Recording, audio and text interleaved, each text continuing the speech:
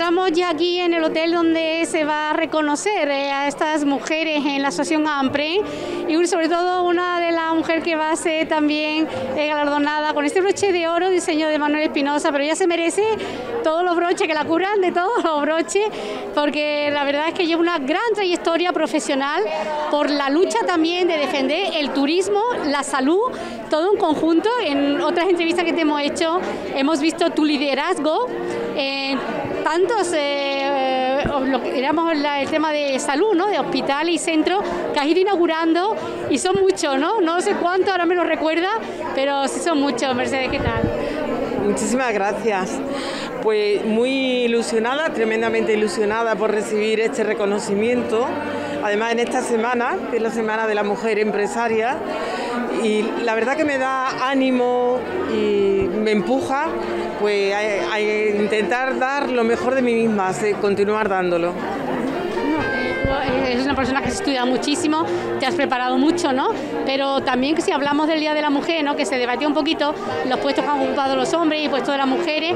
¿Te has sentido alguna vez eh, dificultad por ser mujer en superar obstáculos No he sentido discriminación, pero sí es verdad que yo creo que la, hemos tenido que demostrar más para llegar donde estamos que cualquier hombre. Lo mismo es una autoexigencia que nos imponemos a nosotros. Yo en mi caso he sido afortunada y no he sentido ninguna discriminación, ni de brecha salarial, ni nada, pero es un hecho real que existe y que hay que ir con mucha educando, educando para en esos valores para que no se considere que solamente la conciliación tiene que ser un tema de mujer.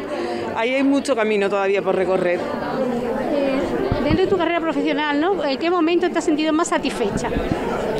Bueno, pues si lo pudiéramos ver en este último año, quizás ha sido la gratificación eh, que hemos sentido cuando hemos sido capaces de sostener a nuestros profesionales para que pudieran atender a esos pacientes COVID y bueno, hemos sido capaces de darle, de acompañarle, no solamente a ellos, a la familia, de reinventarnos. Eh, de este año yo podría decir que es lo más satisfactorio y lo más gratificante haber podido acompañar tantas personas y que a lo mejor no se sintieran solos en el último momento porque no podían estar con su familia nos puede adelantar algún proyecto a medio plazo que tenga, como siempre nos sorprende con algo, seguimos todo lo que ponéis de los del equipo médico que tenéis en todos los aspectos, ¿no? Los otros estuve leyendo también para la obesidad, que es tan importante, no nos podemos olvidar también de eso, con la pandemia igual se ha hecho mucho exceso, ¿no? Pero bueno, aparte de que ya sé que todo el equipo que contáis es estupendo, los proyectos que nos puede adelantar a medio plazo, Mercedes, A medio corto es la ampliación de Sanit, de Vita Sanit eh, eso va a estar terminado para el año que viene y sin duda va a ser el mejor hospital de, la Costa del Sol, un referente con la ampliación y el sentido que le damos a ese hospital de ser un hospital amigable, eh, mm, sostenible con el medio ambiente. Eso es uno de los grandes. De todas formas, ahora, como sabes, estoy en toda Andalucía y tengo eh, cinco hospitales y 13 centros médicos, ¿no?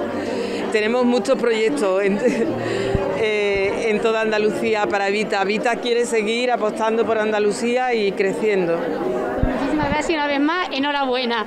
Esperamos tener ya en este año muchas ocasiones donde nos vemos y contarnos también cosas relacionadas con la salud, que yo creo que es un tema que le interesa a todo el mundo. Hoy día la salud es lo más importante, así que muchas gracias.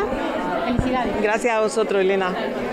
Hablamos con doña Cristina Segeli, que ella es la presidenta, y que bueno, tiene que contar porque ya ha llegado el día, detrás de mucho trabajo, porque eso ha requerido mucho trabajo en los tiempos que estamos con la pandemia, montar algo bonito para dar un reconocimiento, sobre todo a mujeres, a Carita. ¿Cómo lo habéis logrado? Yo creo que lo más importante es la asociación, que tenemos mucha unión, que son mujeres muy válidas, que invitamos a nuevas empresarias a juntarse con nosotros, sobre todo que sean los directivos o empresarias. Y es un día importante, menos mal que tengo un buen equipo conmigo, porque hay mucho trabajo ahora, tú sabes, con la inmobiliaria ahora la gente está despertándose que hay que comprar ahora ya. Entonces tengo buena ayuda, está Jovanka, está Tula, está Carmen, está Luisa y todas estamos por la labor para que esto funcione. Hemos hecho una página web nueva que estamos presentando pronto. Dila si quiere, Cristina, di la página. La página es Amprem y la página tenemos un señor ahora que lo está renovando y eh, estamos, bueno, estamos contentas con el progreso. Cristina, ¿cómo es que cuando habéis llamado a doña Mercedes Menjiva o habéis llamado a Carita para decirle que también va a haber un donativo para ello? ¿Cómo, cómo han captado esa noticia? ¿Cómo ha sido poner en contacto con ellos y Pues la verdad que una de las socias eh, tiene contacto con Caritas, aunque yo los conozco también, pero ella dijo, ¿qué te parece? En, el, en la junta que tenemos hemos decidido que es un tema de lo más importante en Marbella porque hacen un labor muy bueno. Entonces, nosotros cobramos muy poco por ser socia, pero tenemos gasto cero porque los gastos que tenemos es, es muy poco, entonces podemos hacer un donativo, no es enorme, pero es importante. Sí, pues enhorabuena, felicidades. Espero que bueno pues pronto y todo llegue a la normalidad y nos veamos en muchas ocasiones, Cristina, que nos apetece lo mucho. menos la próxima comida la vamos a hacer en abril y si hay alguna socia que todavía no es socia, aspira de ser socia, que nos contacte o a mí o a la asociación para proponerse que participe, porque no es automático de que vaya a ser socia, pero por lo menos que, que tengamos un contacto con nuevas socias nos encanta. Gracias. Muchas gracias, Elena.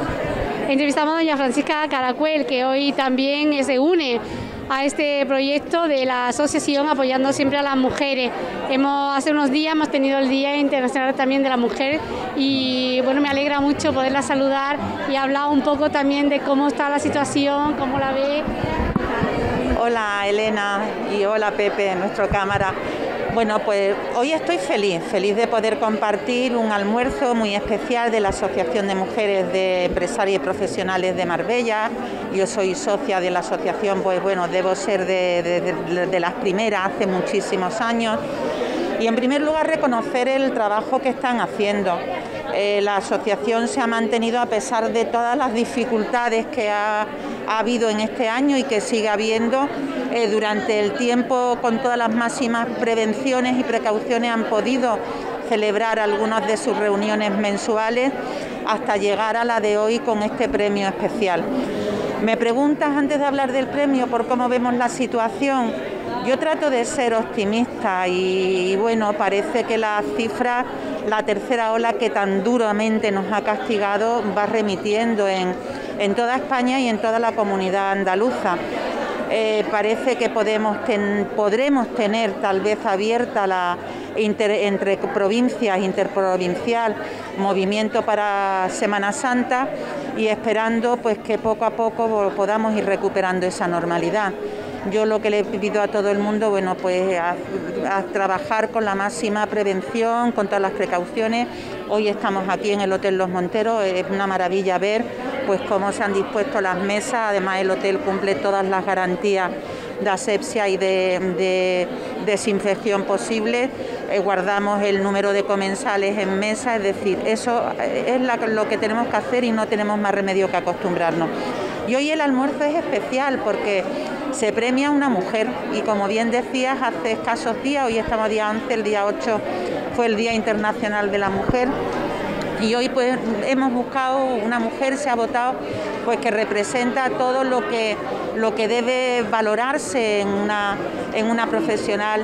Eh, responsabilidad competencia ilusión en su en su trabajo eh, defensora de la igualdad de la, de la mujer con los propios hechos de su trayectoria profesional y esa es Mercedes Mengíbar.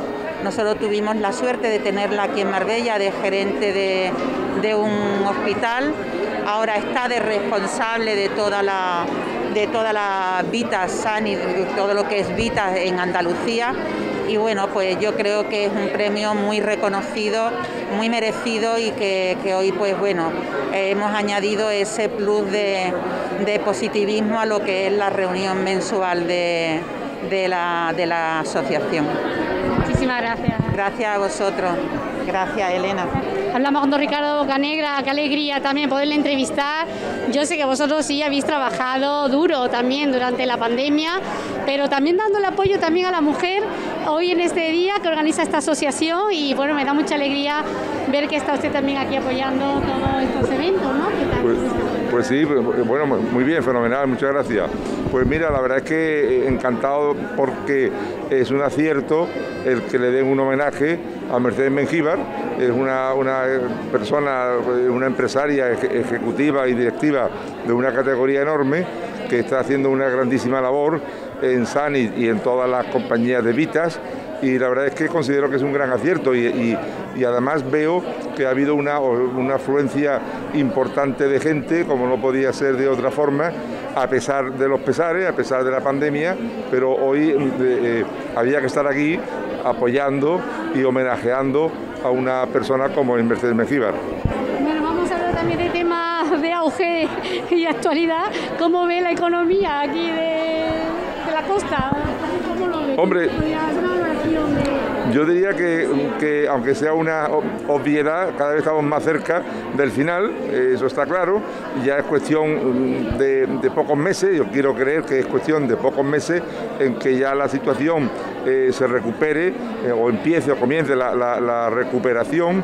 Me consta que hay un interés enorme por parte de mucha gente, de inversores extranjeros, turistas, españoles, en fin, hay una, yo estoy convencido que va a haber una explosión de, interés por Marbella, por la Costa del Sol, eh, porque la gente ahora, digamos, se ha dado cuenta de lo que tenemos y, de lo que teníamos, que se ha perdido durante un tiempo y que la gente está ansiosa y deseosa de, recuperar la, normalidad y de poder disfrutar de Marbella y de la Costa del Sol. Por lo tanto, estoy convencido que dentro de muy poco tiempo la situación va a experimentar una, eh, una mejoría muy notable. Pues muchas gracias por ese mensaje al Estado. Gracias. De nada, encantado, muchas gracias a ti.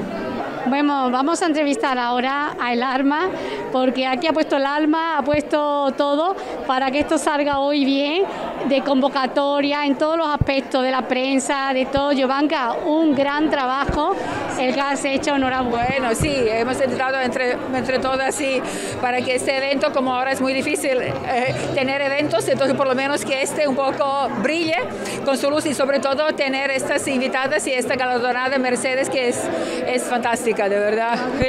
Otro broche para ti, yo creo. ¿Cómo ha sido organizar esto?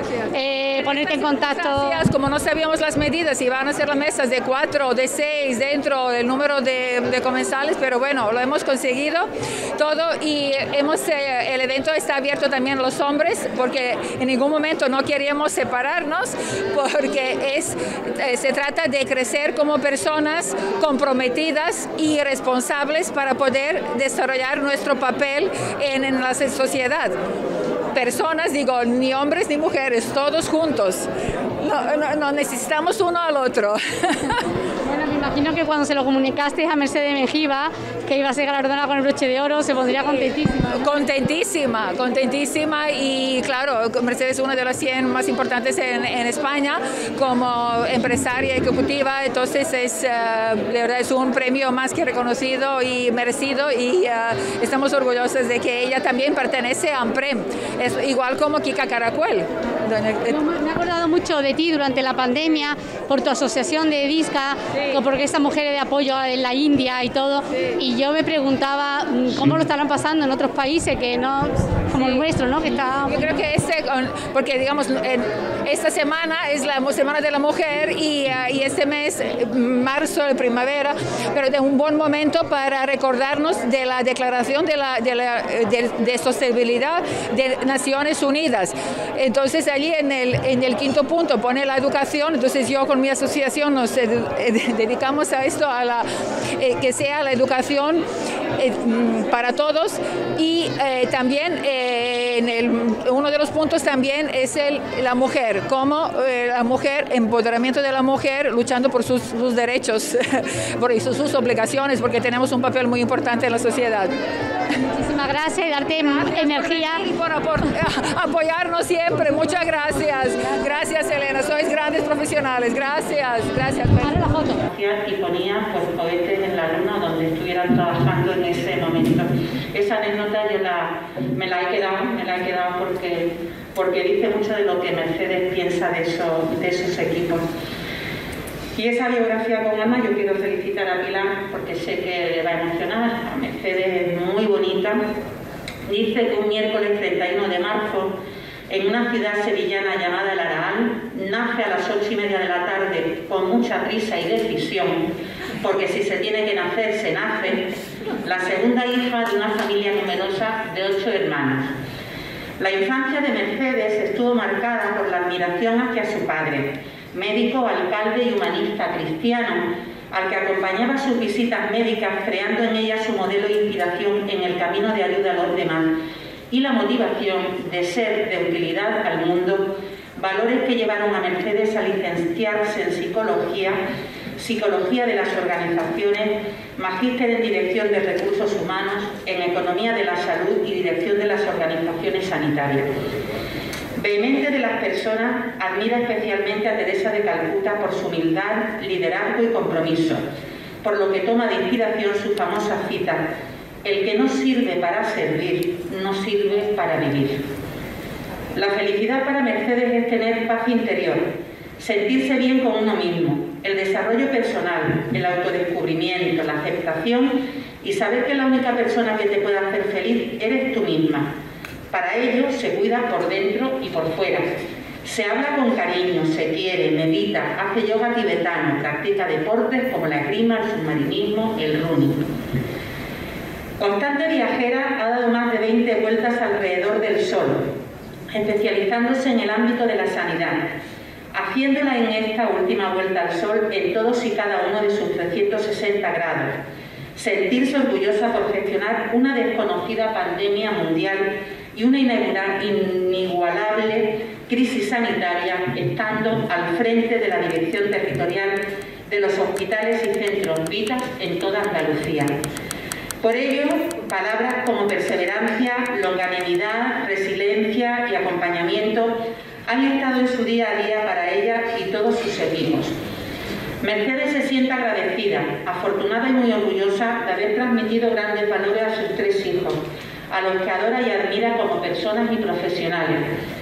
En los últimos meses ha recibido el galador Woman Málaga a la mejor trayectoria profesional y en estos momentos es candidata en el prestigioso ranking Top 100 Mujeres Líderes en España, siendo la segunda vez que participa en esta ocasión como directora territorial de Vitas en Andalucía, donde se siente llena de energía por seguir construyendo proyectos basados en las personas que cuidan de personas.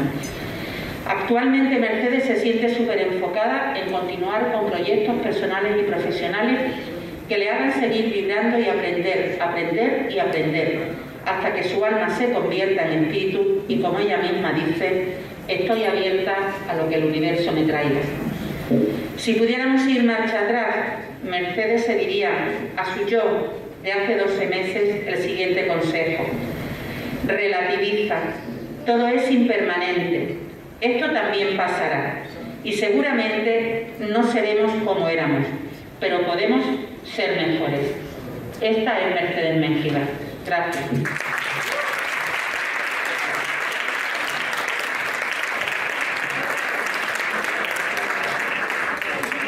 Ahora sí, voy a pedir que suba Mercedes, que suba la junta directiva de AMPE, que vamos a darle el leche de oro. Dame una cosa.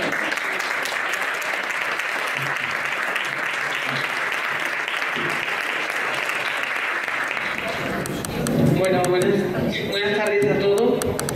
Agradeceros que estéis aquí.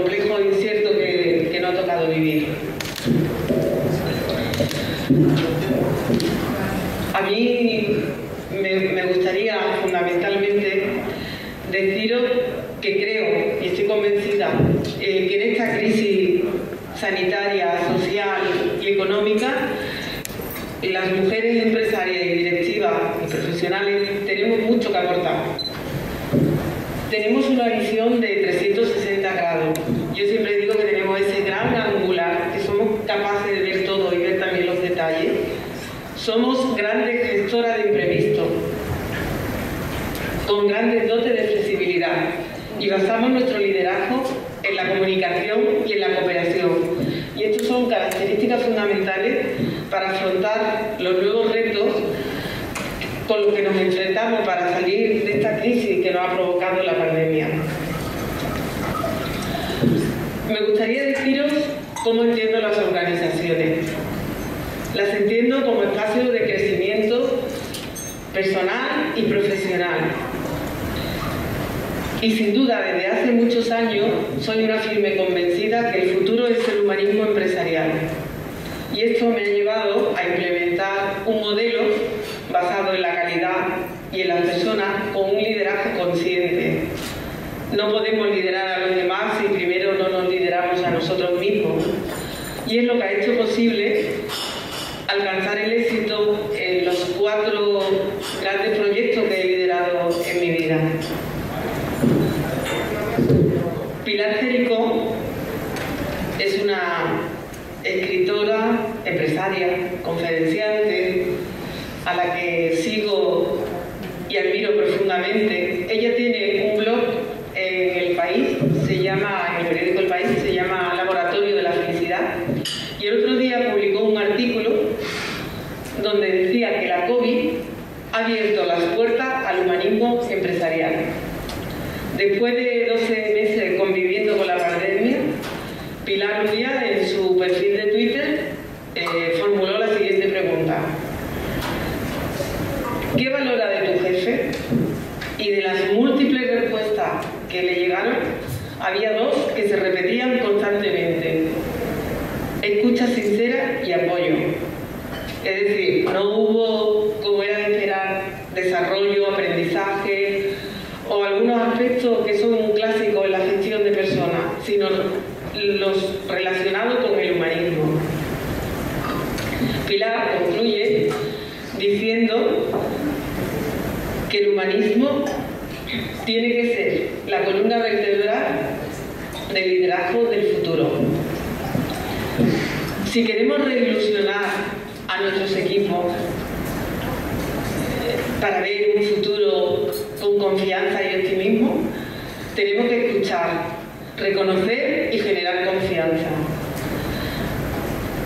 Y también hacer sentir a las personas importantes y útiles. Pienso que como mujeres empresarias y directivas que somos, tenemos ahí un desafío de reilusionarnos y reilusionar a nuestro personal para mirar al futuro y volverlo a enamorar. Como antes decía Kika en, la presentación, en la biografía, lo vuelvo a repetir porque estoy convencida. Eh, posiblemente no seremos como antes, pero podemos ser mejores. Deciros que yo no creo en las individualidades, creo en los equipos. Kika, que me conoce, ya os lo ha dicho antes que yo lo dijera, pero esto es así. Tú no puedes hacer nada sola. Los, equipos es lo fundamental para todo, ¿no? Equipo en la familia, equipo en el trabajo, nos necesitamos uno a otro. Entonces me gustaría compartir este reconocimiento con todos los colaboradores que me han acompañado a lo largo de mi carrera profesional, por lo mucho que me han aportado y me han hecho crecer como persona. Gracias de corazón.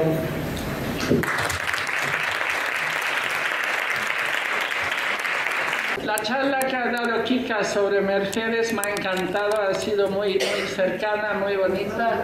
Y ahora vamos a proceder a dar el broche. El broche lo vas a tener que abrir tú. Es algo muy especial. El joyero es Manuel Espinosa. Manuel Espinosa ha hecho este broche sobre un tema que había en el pantalán de Marbella de la esquiadora. Cuando se quitó el pantalán, quitaron la escultura, pero me ha contado aquí que ahora mismo de que van a volver a montar la escultura en un sitio en el, en el espigón. Entonces es un broche que lo han hecho especialmente con nosotros. Nieves lo diseñó junto con él, no lo diseñó ella, pero junto con el, el, eh, joyero Manuel Espinosa hicieron este broche que es único, lo han hecho especialmente para nosotros, para nuestra asociación de AMPRE. Bueno, representa de María, claro, si es el espigón de María.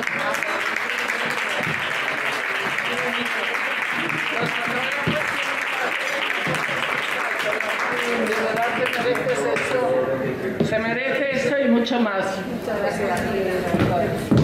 Nunca, nunca había visto una caja de, de joyas con luces. No sé si os habéis dado cuenta, pero tiene una iluminación al abrir la caja.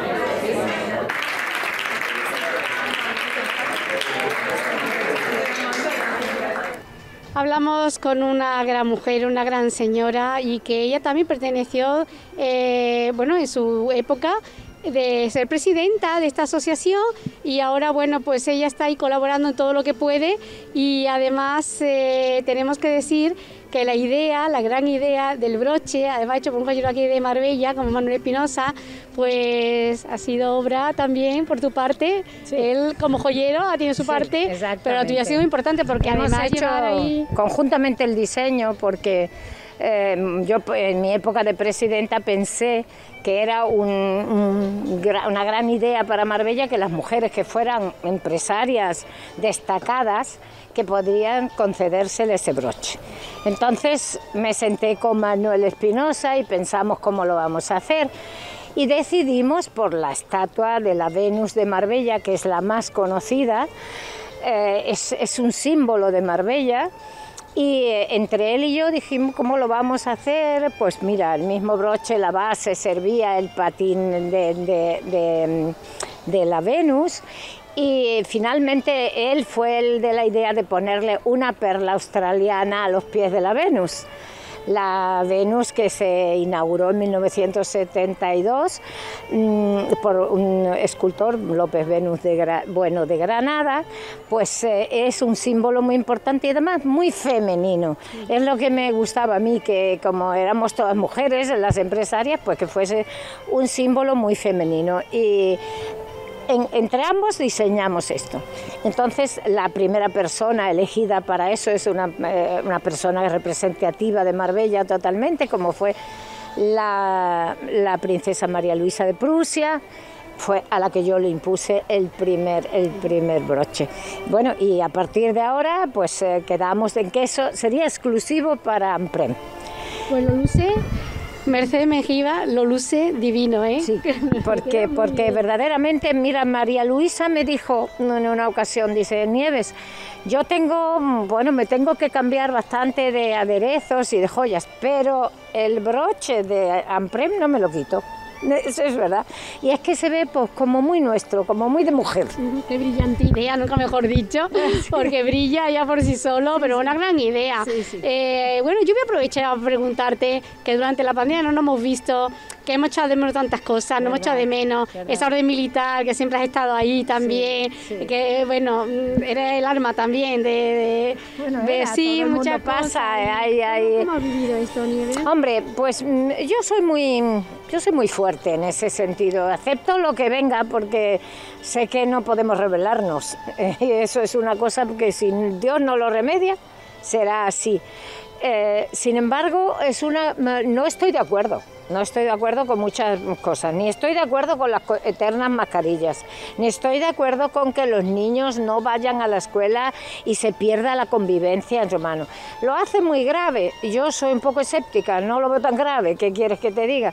Que yo creo que hay que respetar al otro, pero hay que mirar también por el país. Y el país se nos está yendo y la economía se está tirando y, todas estas cosas es un daño, un daño a nosotros, a España. No hay que tener miedo, ¿verdad, No, el miedo, yo no he tenido nunca miedo. Yo, yo soy una persona que acepta lo que viene y entonces yo no he tenido miedo pero respeto más que nada, más que a ti misma, más que por el COVID, a los demás, para que los demás vean que tú te preocupas de, en fin, de no provocar un probable contagio.